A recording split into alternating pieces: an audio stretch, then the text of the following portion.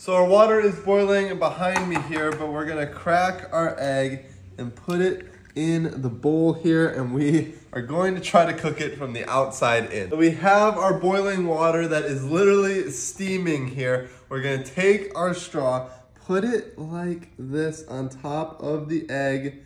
Now just slowly pour it along top. Oh, cook, cook. Is it cooking our egg? Kind of. We're gonna try to grab our egg here and our egg yolk is still all yellow, but we have some egg whites on the outside here, but this is really just not efficient at all. Don't do this. Just don't do this.